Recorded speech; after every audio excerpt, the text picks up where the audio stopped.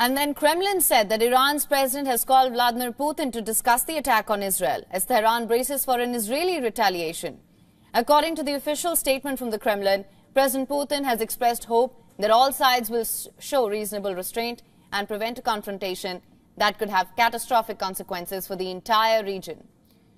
Iranian media has quoted Raisi of declaring that Iran would respond more severely, extensively and painfully than ever to any action against Iran's interests. Russia, which has forged close ties with both the Supreme Leader Ayatollah Ali Khamenei and Arab leaders, has repeatedly slammed the West for ignoring the need for an independent Palestinian state within 1967 borders. Putin, in his first publicly aired comments on Iran's attack, said the root cause of the current instability in West Asia was the unresolved conflict between Palestinians and Israel. Meanwhile, U.S. intelligence officials say Tehran's growing partnership with Moscow is strengthening the capabilities of both the countries.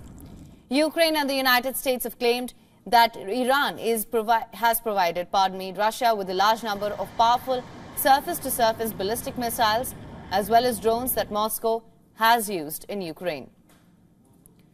According to military analysts, the expanded ties have helped Moscow and Tehran cement their agreements they include a pledge by Russia to provide its ally with advanced fighter jets and air defense technology.